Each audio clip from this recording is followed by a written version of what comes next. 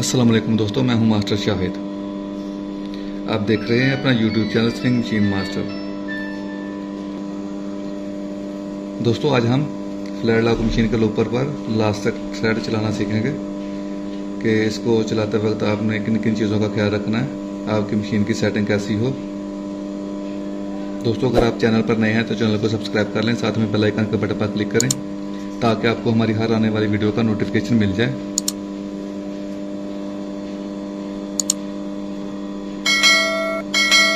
बढ़ते हैं वीडियो की जानब।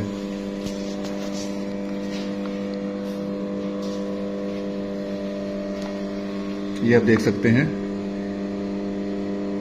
ये इलास्टिक थ्रेड है। और ये जिस जिस गाइड से भी गुजरे, वो गाइड फाइन होनी चाहिए, उसमें कट वगैरह नहीं होना चाहिए।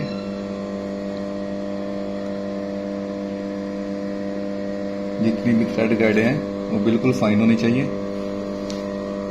और इस मशीन का जो लूपर है, वो अच्छे ब्रांड का होना चाहिए। कैनलन वगैरह का होना चाहिए। कैनलन हो या ताइवान का हो, अच्छी नस्ल का, अच्छे ब्रांड का होना चाहिए।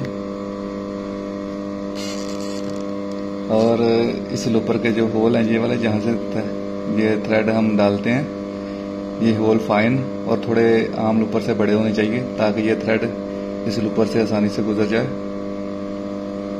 बाकी जो इसकी सेटिंग है, वो जो आम आम रूटीन में करते हैं, वही है। इसमें कोई चेंजिंग नहीं है। बस ये छोटी छोटी बातें जो आपको बताई हैं जिन चीज़ों का ख्याल करें तो आपकी मशीन ये थ्रेड टूटेगा भी नहीं और स्किप भी नहीं करेगी।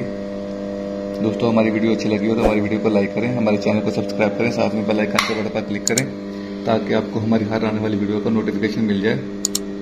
मिलते हैं नेक्स्ट वीडियो में, तब तक के लिए अल्लाह हाफिज़।